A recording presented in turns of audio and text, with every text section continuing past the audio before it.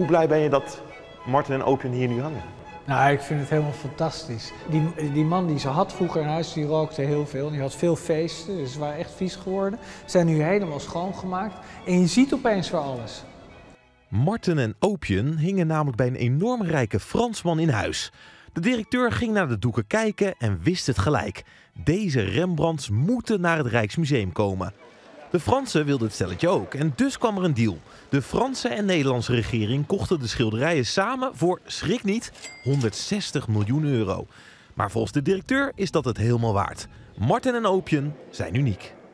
Qua beroemdheid, met wie kan je ze nu vergelijken? Ja, het is Kim Kardashian en Kanye West.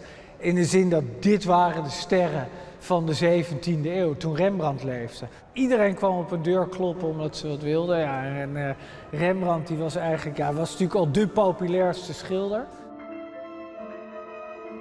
Nu pronken Marten en Opium in het Rijks, maar dat heeft wel even geduurd. Door het vele gerook van de vorige eigenaar waren de doeken nogal smerig. En dus moesten ze worden opgeknapt. En tijdens die opknapbeurt werd er ook nog een bijzondere ontdekking gedaan.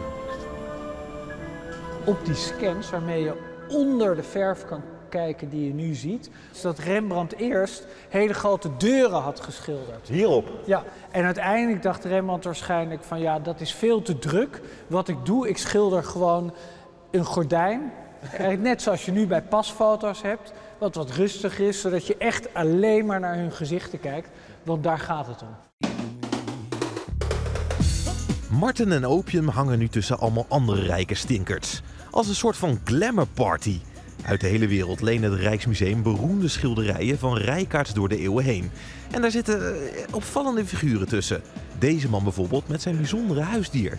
Die leeuw die nam hij ook overal naartoe mee. Oh echt? Ja, ja hij reisde gewoon door Europa. Als, er, als hij ergens naartoe ging, hup, ging de leeuw mee. En wat dacht je van deze? Bedoel, kinderen vinden bloot altijd leuk. Dus voor, voor het jeugdjournaal werkt dat. Deze meneer liet zich helemaal in zijn blootje schilderen. Hij was de burgemeester van Haarlem. Ik denk dat de burgemeesters dat nu niet meer zouden doen. Maar hij liet zijn gezicht schilderen. En natuurlijk het lichaam van iemand anders. Want uh, waarschijnlijk was het een dikke vetzak. Uiteindelijk draait het vooral om Marten en Opium. Nu hangen ze nog in Nederland, maar vanaf juni verhuizen de twee tijdelijk naar het wereldberoemde museum het Louvre in Frankrijk. Directeur Tago Dibbets gaat ze hoe dan ook ontzettend missen. Ga je nog iets tegen ze zeggen als ze weggaan? Tot snel.